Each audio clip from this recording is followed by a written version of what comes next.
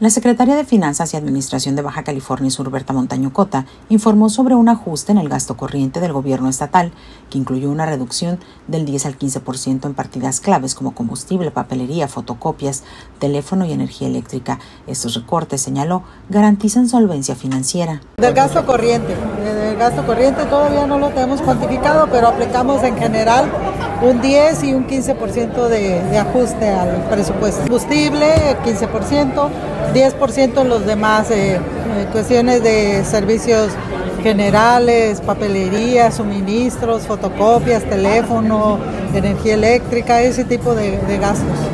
Pues tenemos confianza en que, en que vamos a salir. Eh, ya hicimos la proyección a diciembre y tenemos más o menos previsto cómo hacerle.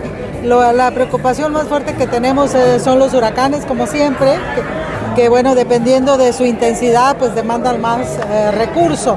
Entonces, bueno, eso es eh, lo único que nos tiene así ahorita buscando la manera de, de, protegernos previamente.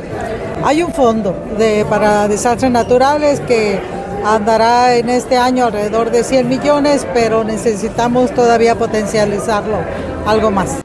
Montaño Cota también expresó preocupación por la temporada de huracanes, que podría generar demandas extraordinarias de recursos, aunque el Estado cuenta con un fondo de emergencia de aproximadamente 100 millones de pesos. La Secretaría reiteró la importancia de fortalecer este fondo para estar mejor preparados ante posibles contingencias climáticas para Baja California Sur.